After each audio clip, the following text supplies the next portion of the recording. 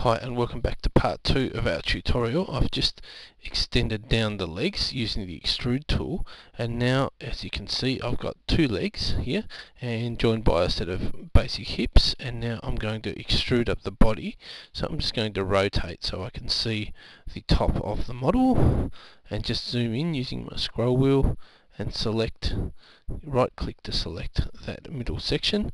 And now I'm just going to go E extrude hold down control. Again let it step up. So all this modeling on this first model is done in cubes to keep everything nice and easy to work. So hold down control let it click up. Hold down control again. Click. And I think I'll just go up one more okay? Now you can go whatever proportion you want to make your model. That's good. Okay so that's going to be the basis of the bottle of the of the body but we'll sculpt it a little bit more in a minute. Okay I'm just going to go X and delete the face. So and that'll leave it open for when we join the head onto the body. Okay so now I'm going to extrude out some arms. So I'm just going to go E extrude hold down control click it out. Okay, that's good. So I'm just going to go out three blocks wide and extrude out this side.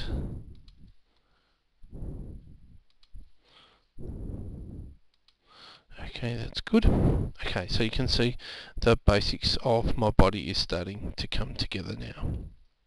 Okay, the next thing we're going to learn to do is to add another object in Blender just like in SketchUp, um, you can have multiple objects that join together, or you can have separate objects by using groups in SketchUp. In Blender we do this by going back into object mode and then adding an object. So I'm going to do that now. I'm going to go back to object mode and I'm going to look at my model square on. So to do that I'm going to use my numlock 1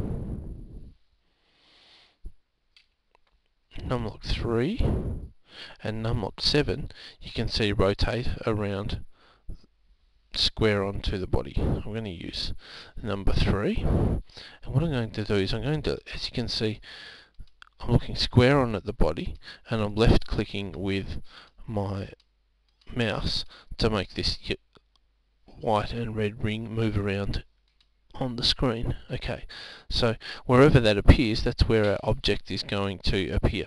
So I'm going to go Shift A to add an object, Shift A, Mesh, and I'm going to choose the monkey.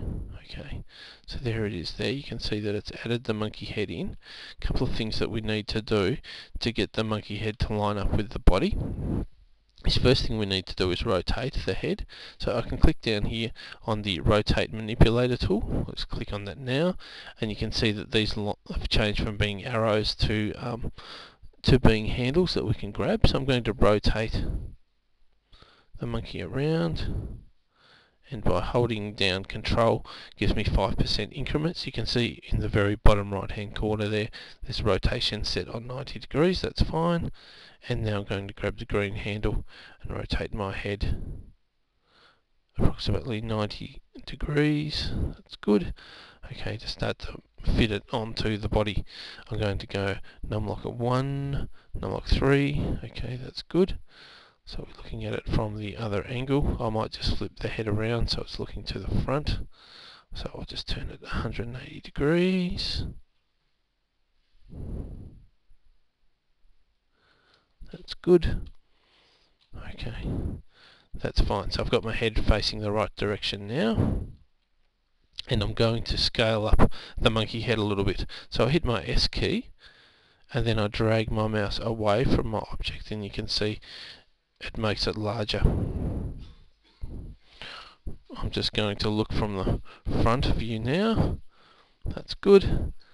And I'm just going to fit that down onto my body. So I'm going to click back here on my translate manipulator, which just means it moves things around. And I'm going to move the head down onto the body a little bit.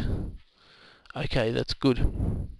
Now, I'm also going to add a modifier to the head. So remember we added a modifier to the body and that smoothed out the body from its original cubic shape. The same thing with the monkey mesh head here. We're going to add a modifier. So I select the spanner, add modifier, down, and select the subdivision surface. So I'm just going to select the subdivision surface in the bottom left and I'm going to turn these up to 3 and 4 apiece and we can see here that now the head is nice and smooth. Excellent. Okay, so now that we're starting to get our monkey sorted out, it's a good time to save and then we'll come back and have a look at sculpting up our monkey in a little bit more detail and setting up the render camera.